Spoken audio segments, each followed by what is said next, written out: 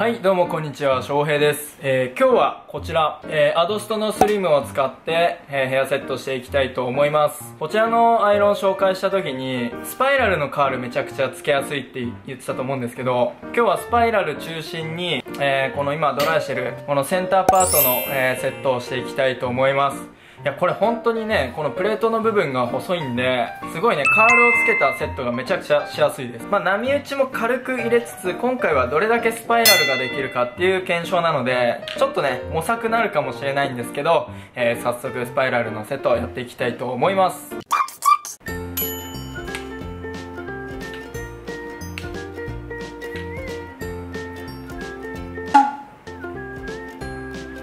うん波打ちもやっぱ細かくやりやすいですね。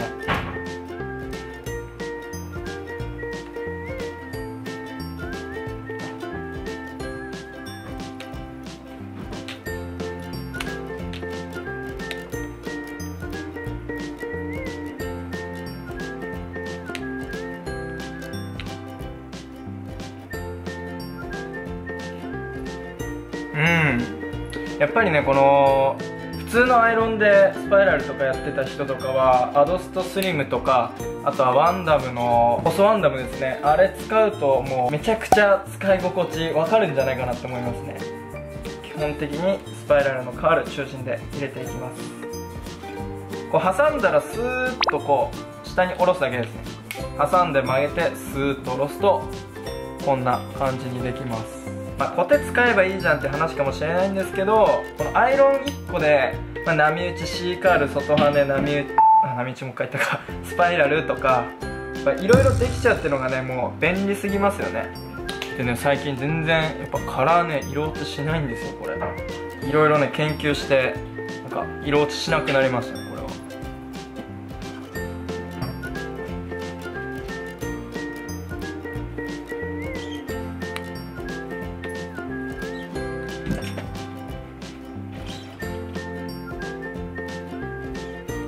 はい、えー、今日はオーシャントリコのシャインオーバー単体使ってやっていきます。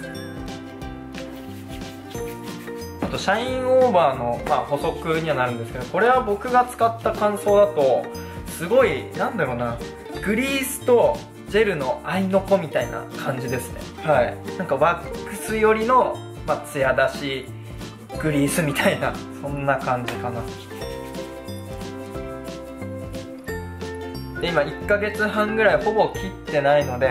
まあ、長くなってきたんでいいタイミングでこうスパイラルやろうかなっていう感じで今日は作ったんですけどやっぱりねあのー、カールつけやすいですね。結構なんかセンターパートとかこういうスタイルやる人とかでもコテとかねなくてもこれアドスト1本あればできるかなっていう感じですね。でまあ僕なりのルールじゃないですけどこれセンターパートやるときはねあまりなんかもう考えない考えすぎずこうちょっとラフな感じでふわっとやるといい感じにウ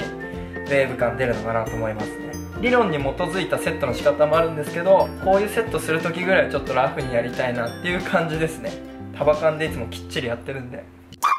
はい、という感じでさっくりセットしてみたんですけど、いかがだったでしょうか？今回はすごくラフな感じでやったんですけど、がっつりね、スパイラルの螺旋状のカールつけることもできるし、こんな感じで緩くセットすることもできるし、やっぱりすごい万能だなって思いました。ただ、滑りに関してやっぱり普通のアドストの方が、うん、ちょっとやりやすいかなって感じたので、うん、まあ、そこまでね、ダメージひどくなかったら全然問題ないと思うんですけど、小回りすごく効かせやすい分、こういったカールを作りやすいなって非常に思いました。なのでいろんなスタイルやるにしてもアドストのこのスリム持ってれば本当に幅広く紙セットができるんじゃないかなと思いました。ということでこの動画参考になったらぜひ高評価コメントチャンネル登録よろしくお願いいたします。Twitter、Instagram もやってますもの あかんちゃった。Twitter、Instagram もやってますので、えー、そちらの方もチェックお願いいたします。